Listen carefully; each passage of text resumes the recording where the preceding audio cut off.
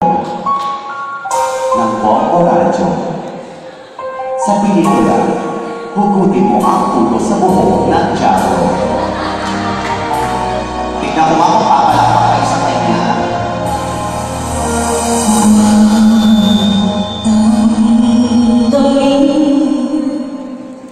ang kasawian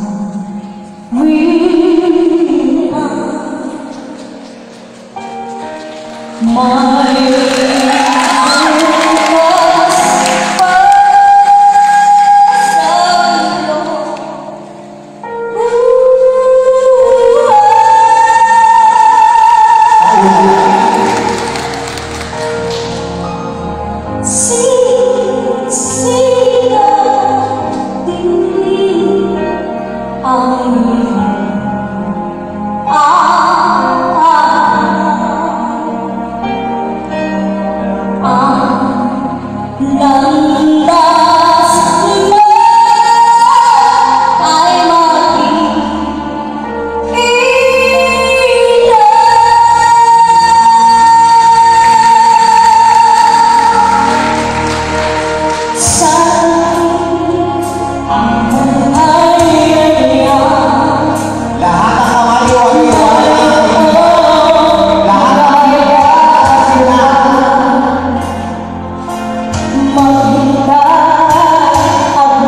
감사합니다.